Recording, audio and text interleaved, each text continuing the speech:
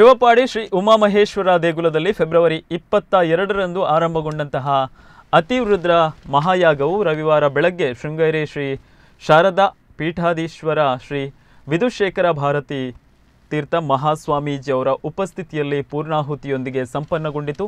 ಸುಮಾರು ನಲವತ್ತು ಸಾವಿರಕ್ಕೂ ಅಧಿಕ ಭಕ್ತರು ದೂರ ದೂರುಗಳಿಂದ ಆಗಮಿಸಿ ಯಾಗ ಪೂರ್ಣಾಹುತಿಯಲ್ಲಿ ಪಾಲ್ಗೊಂಡು ಅತಿ ಅಪರೂಪದ ಯಾಗವನ್ನು ಕಣ್ತುಂಬಿಕೊಂಡರು. ಯಾಗ ಮಂಟಪದಲ್ಲಿ ಬೆಳಗ್ಗೆ ಆರು ಮೂವತ್ತರಿಂದ ವಿಧಿವಿಧಾನಗಳು ಆರಂಭಗೊಂಡವು. ಸುಮಾರು ನೂರ ಎಂಬತ್ತು ಋತ್ವಿಜರಿಂದ ಏಕಾದಶ ಕುಂಡಗಳಲ್ಲಿ ಅತಿವೃದ್ರ ಮಹಾಯಾಗ ವೈದಿಕರ ವೇದಘೋಷ, ಶೃಂಗೇರಿ ಮಠ ಆಸ್ಥಾನದವರಿಂದ ವಾದ್ಯಗೋಷ್ಠಿ, ಚಂಡೆವಾದನ ಇನ್ನಿತರ ಧಾರ್ಮಿಕ ವಿಧಿವಿಧಾನಗಳು ಜರುಗಿದವು.